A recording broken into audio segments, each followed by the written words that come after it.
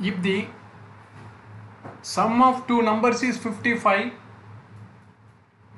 and the HCF and LCM of these numbers are 5 and 120 respectively. Find the sum of reciprocals of the numbers which is equivalent to that is they have given five options. Sum of numbers that is a plus B is equal to how much? 55. HCF and LCM, if I multiply what I will get? I will get the product of the numbers.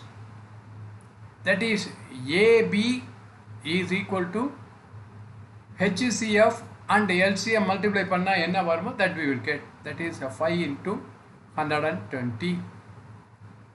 What I require? Find the sum of the reciprocals of the numbers.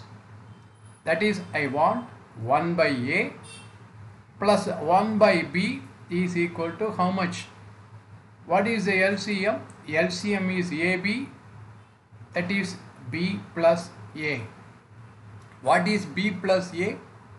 That is 55 what is AB AB is 5 into 120 that is 600 11 5s are 55 12 5s 11 by 120 what is the answer? Answer is 11 by 120